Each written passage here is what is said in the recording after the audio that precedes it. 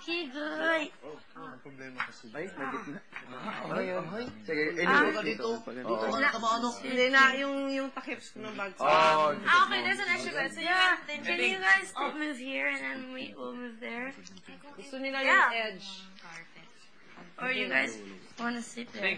Uh, I'm down for whatever. Because So, that I don't way, care. that way, Denise can have a single bed. Or, Two. Jingle And bell! or palipat-lipat Andy can have a ganyan, Denise Sweater. kasi doon, and then tayo. probably Wendy, and probably Asan tayo? me. Oh, and then me, Tin, Kami dito Slater, Carl. Carlo. Dito ka na, Is dito. it okay lang? So then, okay, Johnny. Ano to? Ano to? Pillow. May nilalagyan ng ng pillow Oh, to? We did- we there's disinfect. all Big L, Ah.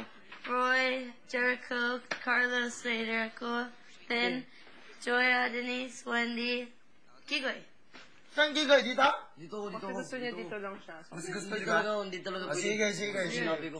Actually, pwede ano natin, kasi, Baka pwede mo. oo, pwede natin lang, lang. si Kuya na, lang. ito yung mga tables okay lang. kasi dito na sa gilid para mas malaki space mo sa gilid. Oo, oo, Ibig ko sabihin doon, ang, doon yung table, doon. Kasi ang kung paano, dadaan kayo. tama.